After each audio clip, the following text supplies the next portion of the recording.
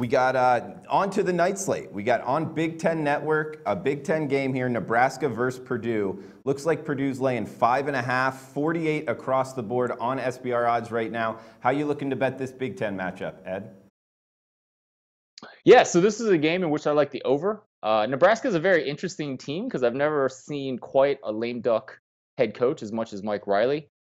Uh, Nebraska fired the athletic director earlier this season. Uh, Riley is uh, his days are numbered there. But what I like about this game is how Nebraska's offense has performed over the past two games. Uh, they've been able, they've gone up against two top 10 ish type defenses in Ohio State and Wisconsin. Um, actually, I think two of the best teams in the country. They have put up 6.2 yards per play, which is good. Those uh, that production and that performance really hasn't shown up on the scoreboard, and I think that's what's driving this total uh, lower than what it should be. Uh, I think Nebraska's offense has been surprisingly good this season. I think they'll score, even though Purdue's defense has been good. Um, I think we'll see some points on both sides of the ball. We talked about Nebraska's offense. Uh, Purdue's offense isn't fantastic, but uh, Nebraska's defense isn't great. They have a couple guys dinged up in the secondary. And I was just talking to people. I had Bob Stoll on my podcast this week and talked about how important injuries are in the secondary. So I see more than 51 points in this game, and I like the over. Yeah, th- this one's kind of surprising with that Purdue offense sitting at 48. So going with the over in the Nebraska Purdue game. Around the same, time slot, we got it this one on ABC in the Big 12. Texas Tech versus Oklahoma. Oklahoma laying 20 at home, 73 the total. How you betting this one, Ed? Yeah, this is definitely one in which I like the over. I mean, these teams scored what, like 500 points last year when these when they got together. Um, I see the reason why the total is only in the low 70s this year. Texas Tech defense has gotten a lot better. This was a unit that was awful last year, but they had a lot of injuries. So you saw a lot of guys in the secondary getting some playing time. They've bounced back. They're a much better defense. You've seen similar things with Oregon's defense, where they had a lot of injuries last year, were awful, and you see the bounce back because you have players uh, that have some experience. But in Oklahoma, you have the most explosive offense in the country. They are a clear number one when you're looking at my adjusted yards per play. Um, we all saw how they destroyed an Ohio State defense earlier this year. That Ohio State defense is actually fifth in the nation in my adjusted yards per play. So just shows you how explosive this offense is with Baker Mayfield. Um, as good as I think Texas Tech's defense is, I think uh, Oklahoma is going to score a lot of points. And and then Texas Tech, their offense is good. Uh, I see them scoring a lot of points too. The only thing worry you have in this game is if a couple turnovers really tip the favor in Oklahoma's uh, way early in this. If, if, this game gets out of hand and Oklahoma starts slowing the game down to preserve the victory, um, but I, I don't think that happens. I, I like the over in this game. All right, so Ed on the over, Texas Tech, Oklahoma, also on the over in the Nebraska Purdue game and on the App State side in the App State versus UMass game. He's been a two and one machine. Last week just went one and two, so bounce back mode, but nonetheless very profitable this season. So hats off to you on that, Ed. And I'm not fired after last week. week. What's that? I'm not fired. After, I'm not fired after last week, Drew. Dude, one and two? Hell no, man. You're, you're just sure. a, a, a, drop in the pan here, man. You've been profitable. Right, we, man. we appreciate it much. What, what else has caught your uh, caught your attention college football betting wise so far this year that you want to bring up?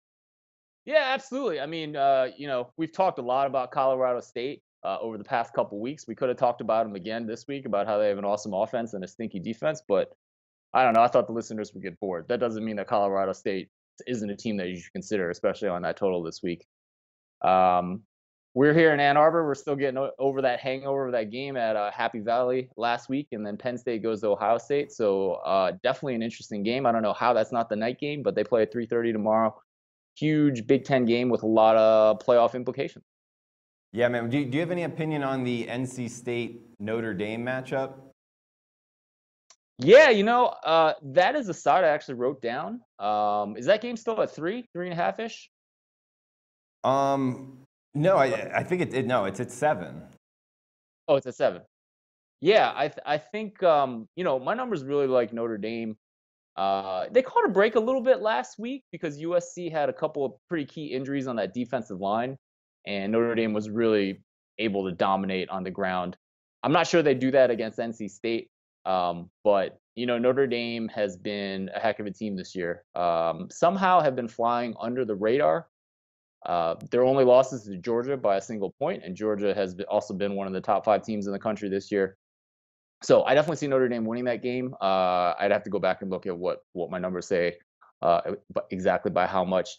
North Carolina State's clearly an interesting team. They got some pretty big wins this season.